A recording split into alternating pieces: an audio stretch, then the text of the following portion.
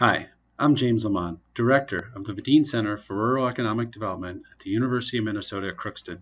Today, I would like to welcome you to our supply chain series where we'll talk about supply chain shocks. Well, all of us just got through some of the most pronounced and, if not acute, supply chain shocks that we will live through, hopefully, in our lifetimes. During the COVID crisis, everything from toilet paper to eggs to restaurant supplies, you name it, were effectively difficult to find. Surprisingly, the supply wasn't a problem. It was mostly supply chain networks which were effectively shut down due to hotspots and or other issues within the supply chain vertical.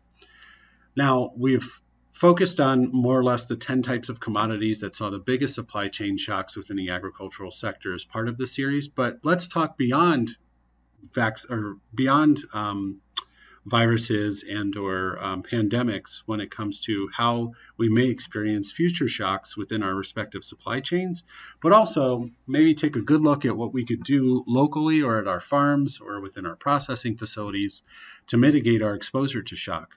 So first i'm going to start with production. What creates shocks within production? Well naturally there could be anything from disease to other elements such as weather pests you name it natural hazards we see this all the time throughout the world, and, and it's fortunate that many of us have insurance for it. From there, the same thing happens within storage and processing. If you think about uh, fires, wildfires, uh, any other toxicity or natural hazards that could impact the storage and or processing. Same thing within a distribution network there may be really excessively high fuel prices or transport networks that yeah, if you're in Europe or Asia, you'll see massive strikes or tariffs. Uh, we've we've gone through a number of those over the last several years. So I mean, there are a number of shocks, if you will, within the respective supply chain, which you have likely experienced or will likely encounter in the future. Same thing with retail and markets. Well, what if there are issues with respect to import tariffs? What if food prices are sky high or super low? What if locally we see extreme temps and or rainfall that impact the uh, the respective retail areas, and then naturally uh, some of the places where we're selling, as we're seeing with cold storage, with uh, with respect to vaccine distribution, there may not be the appropriate level of refrigeration capacity to purchase our products. And then on the consumption side, same thing. Maybe food taxes are too high for people to purchase, or seasonality associated with foods, or export restrictions. I mean, the list goes on and on. So, unfortunately, we're not um, immune from supply chain shocks and we'll likely uh, see them in the future. So, how do you mitigate them? At the farm level, thinking about your farm as a business, think about the commercialization you're doing.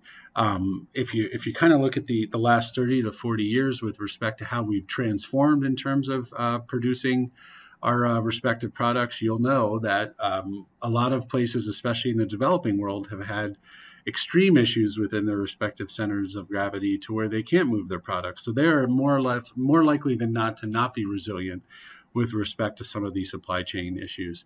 Within the ag tech space, we're able to kind of find pestilence and, and, and, and whatnot through precision agriculture or sensoring technologies.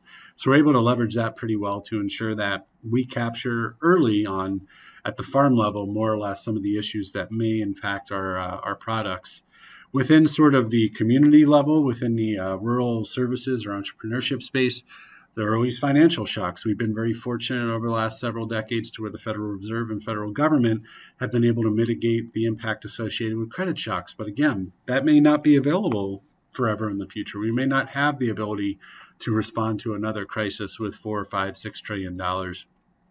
Labor shocks.